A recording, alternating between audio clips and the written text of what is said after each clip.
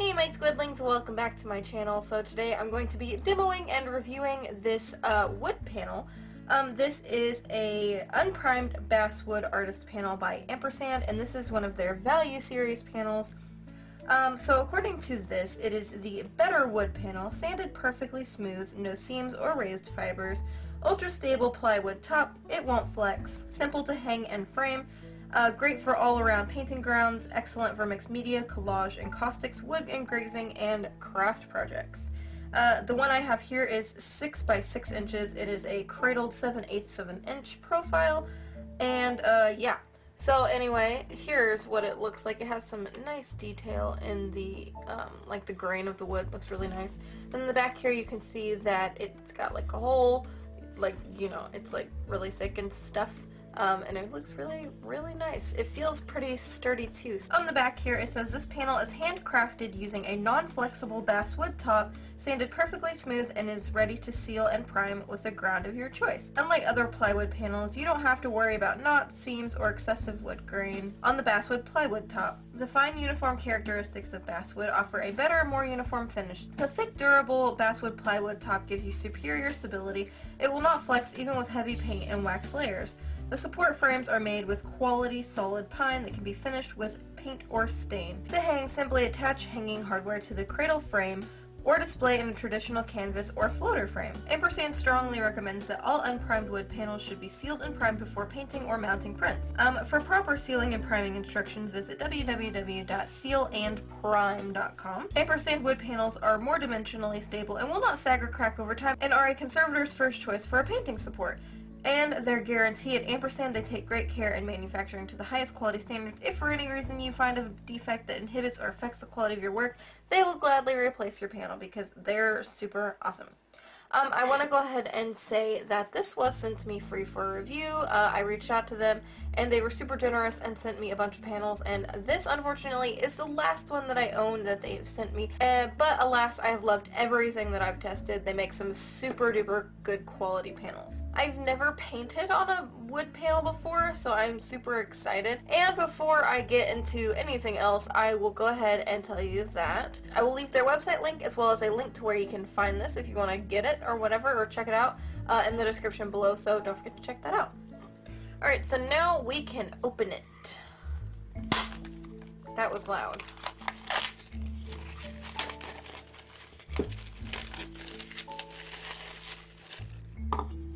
Alright, so here it is. It's just a wood panel.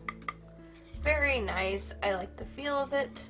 Uh, and I cannot wait to get to you know, testing it out and talking to you a little bit further about my experiences using it and the rating and all that stuff.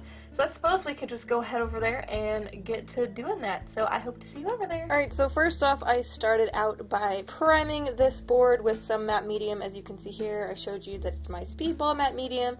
Um, I used more than one layer. I know I showed you only one layer, but I used about three to four layers. I don't remember. I think it was three, but maybe it was four. I don't know.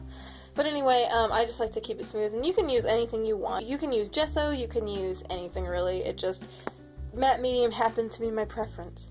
So anyway, I am painting Lapis Lazuli, or however you say that, from Steven Universe. Now, no, I don't watch Steven Universe, but I really, really love her design, and I have some friends that like to watch it, and I kind of get, you know, I hear about it a lot and stuff, so they talk about it a lot. So which is nothing wrong with that. They enjoy it, so whatever. But anyway, um, yes, she looks really scary right about now, and this painting actually stays looking scary until the very end. Um, just because I painted it weirdly. I don't know. I I painted it the sections weird. I want to say that painting on wood is super fun. Uh, this board was great. It was just a nice basswood board. It feels super sturdy. It was super smooth. I mean, I loved painting on it, and I like the wood grain and the fact that you can kind of see it through some of your paint layers unless you have really heavy paint layers. Um, but yeah, I don't know. I really like painting on this board. Um, so one thing I want to talk to you guys about first and foremost is the fact that this is going up on a Sunday.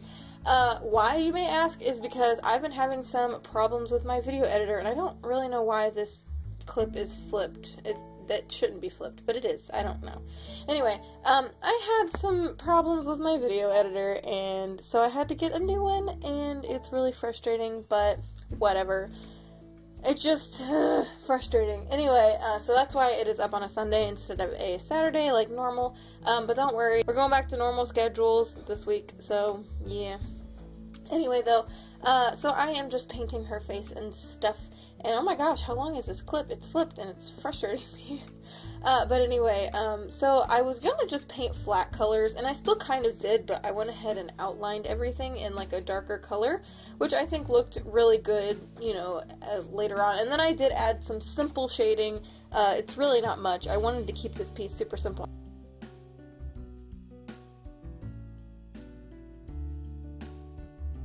Ah, it's finally back to the normal flip.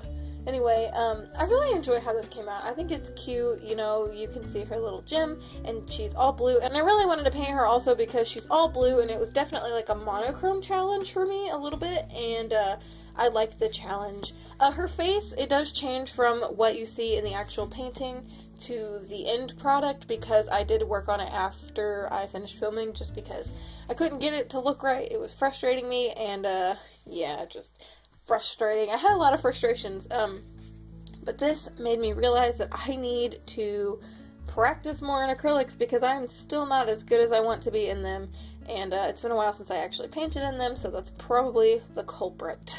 so anywho, I want to go ahead and rate the board before I, you know, end the video, and I have to say, this was super fun to paint on. I've never painted on wood before. Uh, definitely give this a 8.5. It was great. Uh, you have to prime it first, which is kind of meh, which isn't really surprising considering it's just like a wood panel. But it was really fun. There was no nicks or anything that I felt inhibited my art. And I really had a fun time using it. It was super great. Um, and I love the wood grain that you can see. But anyway, as this video is wrapping up, I want to go ahead and thank you guys so, so much for watching. And don't forget, you can follow me on DeviantArt, Paigeeworld, Twitter, and Instagram. All of my links are down in the description below. And don't forget to join our cute little squid army if you haven't already. And until next time, guys, toodaloo!